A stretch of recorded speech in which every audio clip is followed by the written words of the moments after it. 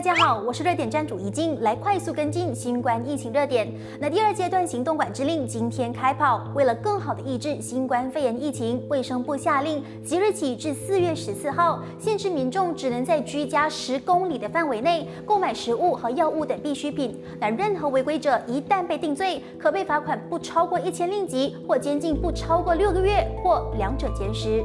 直辖区斋戒月市集是不是照常开呢？那联邦直辖区部长安努亚穆沙今天就说还没有定案，目前依然在等待卫生部的指示以及国家安全理事会的建议。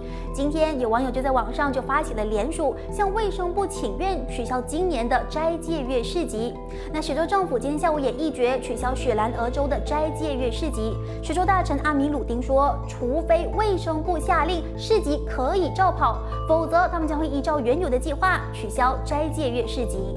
昨天妇女部在社交媒体贴文，建议女性以哆啦 A 梦的方式来撒娇，引起了许多人的挞伐。那今天卫生部的一个推文也引起了热议，就是这张在家举沙发做运动。那卫生部其实是要提醒大家，在这期间呢，也要记得保持身体健康。